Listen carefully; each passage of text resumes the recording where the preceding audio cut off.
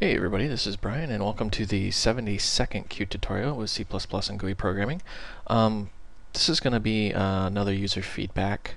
Uh, I get to ask the question, Brian, how do you compile and use a third-party DLL? So, we're going to do this and maybe split it into two parts depending on how big this gets. This, is a fairly advanced topic, so well, we'll see. Alright, first thing you need to do is go to the Qt website and go to Downloads and you're going to want to download the Qt Creator source. That's right, the actual source code for Qt Creator, this IDE that we've been working with all this time. And the reason why you're going to do that is because it uses a library called Botan, or Botan. I think it's called Botan. Anyways, very, very powerful library. And what this library does is it allows for another user feedback, which I wanted to cover, encryption. Brian, how do you encrypt a file? Well, we're going to cover that too. So rather than have you go out and look for these arcane libraries, we're going to use something that you already have, the source code and the project file and everything set up. Matter of fact, after you've downloaded these, and let's say you've downloaded the Qt Creator source code, you can just go into the source slash libs slash third party slash botan and open botan.pro and you have the actual source code for botan set up and ready to go. All you have to do is compile it. Now, after you've compiled it, you are going to have a few libraries. And you notice how it's, you know, libs third party, botan build desktop, lib slash qt creator. You're going to have botan DLL, botan d.dll, botan a, botan a. What are these? Well, these A files right here are just basically files that the linker can attach to so that it knows you have the specific DLL you want to bind to. And the DLL files are dynamic link libraries. That's how you distribute code so someone else can use it. Now, Botan comes with DLLs, but they're compiled with Microsoft Visual Studio. And if you remember from any of our previous videos, anything you compile in Qt Creator uses the MingW compiler. So you have to recompile this library for these tutorials to work. Otherwise, you're going to get all sorts of unresolved reference errors.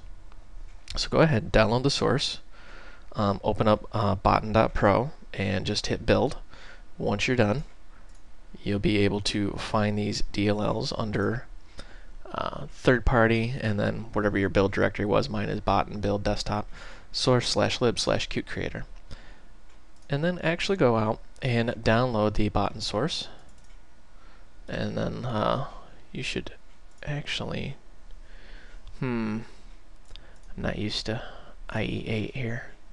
I'm going to actually walk you through installing the Botan, Botan DLLs. You just hit next.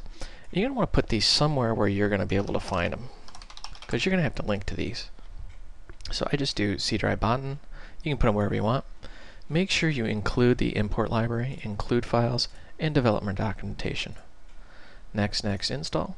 Fairly straightforward, fairly easy process. And then go back to these DLLs that you made and then we're just going to go into the botan directory where we just installed. I put it C drive botan. You notice how it's, there's already a DLL and there's a lib file. Those are generated by Visual Studio, which we're not using. We're just going to right click and paste, and then we're going to copy and replace those files. That way we now have our working files that are compiled with the MingW compiler. Like I said, if you skip that step, you're going to have nothing but problems. You're going to get unresolved reference errors and just all sorts of little gremlins in your code, and you're not going to be able to figure out well, what in the world is going on here. Now, I'm not going to lie to you. Uh, Botan is an extremely complex library. It has a very good reference manual, and you should actually go through this and read this, and it'll talk very in-depthly on how to do certain things with this library. So that is a little bit of homework you're going to have to do before we step into the next tutorial. That being said, this is an extremely easy library to work with, and we're going to show that in our next tutorial. Um, I'm going to chunk these up into two parts, simply because there is a bit of uh, preliminary overhead you're going to have to understand in order to work with encryption. Encryption is a science in itself, and you have to know the difference between like a block cipher and a stream cipher, and we're going to cover those things in a, very briefly, very simply.